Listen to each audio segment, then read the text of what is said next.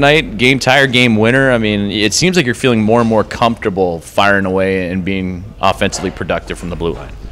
Yeah, I think uh, the coaches uh, really want the defensemen to uh, jump up in the rush and, and, get shots through and all that stuff. So, um, like, I've just been trying to do that, and uh, it's been working.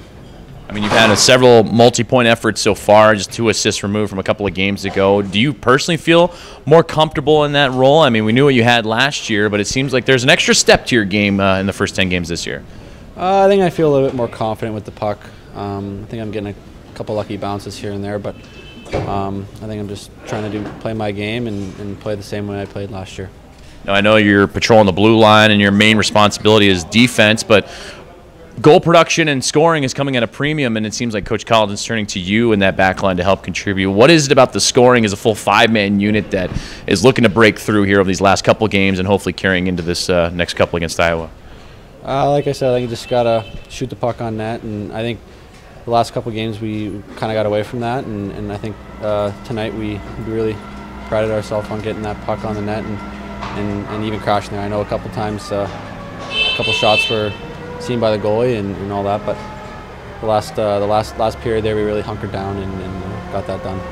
What are you looking to do differently, see differently on the power play? You're a big weapon on the back end for there as well, but the IceHogs empty-handed here tonight and look to, to improve on those, especially that five on three in the first period. What needs to be different to, to see that puck sneak in?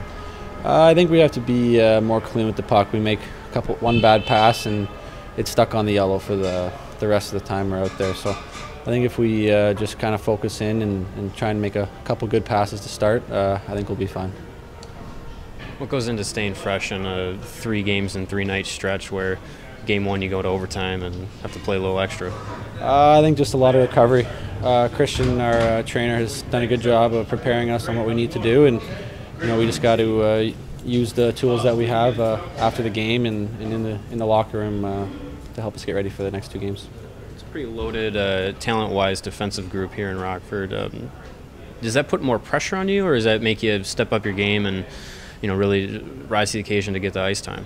Uh, I'm not too sure. I know we're all good friends back there, and, and we all uh, we all want to see each other do the best we that we can do. But uh, I think we just gotta we all just go out there and try and play our game the way we that we we've been playing for our whole lives, and and it's up to the coaches to see who uh, they want to put in the, in the lineup.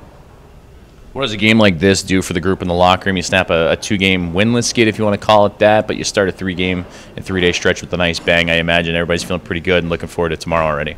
Yeah, this was a big game for us. These guys were, I think, eight and one coming into tonight, so uh, they were a really hot team, and to come back in the third period like that, it was uh, it was really big.